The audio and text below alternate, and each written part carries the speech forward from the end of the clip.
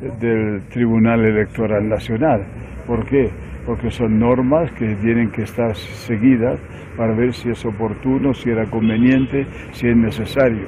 Yo creo que dadas las circunstancias, por la conglomeración de gente y de grupos que se juntan para las elecciones, no están dadas las condiciones para hacer las elecciones el día 3 de mayo, a no ser que pase esta epidemia, pero pasando la epidemia se necesita un cierto tiempo para comenzar otra vez el tema de la presentación de los programas, la concientización para dar el voto y la responsabilidad de estar libres para votar lo que más conviene a nuestro país.